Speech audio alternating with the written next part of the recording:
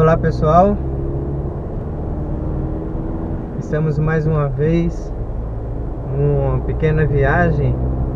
E agora eu quero mostrar para vocês o trecho entre as cidades de Imbituva no Paraná e Irati também no Paraná.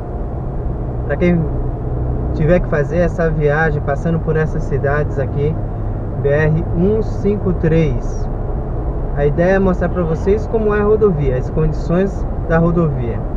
A velocidade aqui de tráfego é de 80 km por hora. Observe que nós temos um acostamento aqui mais ou menos de 2 metros, 2 metros e 20. Com pista simples. Então nós não temos uma rodovia duplicada entre essas duas cidades.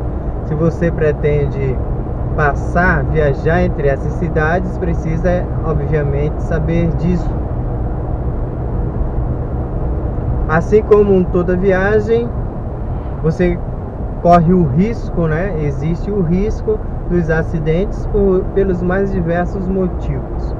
Mas se você estiver viajando na velocidade indicada para a rodovia, que nesse caso é 80 km por hora, e respeitar as faixas existentes aí, nós temos faixas contínuas e faixas para ultrapassagem. Se você respeitar isso aí, você muito provavelmente fará uma boa viagem, uma viagem tranquila. Não é um, uma estrada em um trecho muito movimentado. Então dá para tirar de, de letra, de letra se você fizer uma viagem tranquilo, seguindo as normas e as recomendações de trânsito. É uma estrada bem sinalizada, não tem buracos. Então tranquilo quando aparece um buraco ou outro, tem empresa sempre para fazer, para tampar.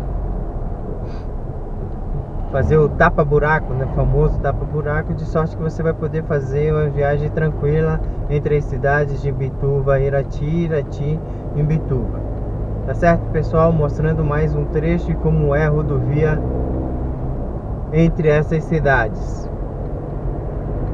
Não existem serras nesse trecho, algumas curvinhas aí mais fechadas, mas ela é uma boa rodovia no geral. Se você ainda não é inscrito no canal, querendo e se gosta do conteúdo, se inscreva. Se gostou desse vídeo, deixe o seu like e aí nos vemos nos próximos vídeos. Ok? Um abraço a todos.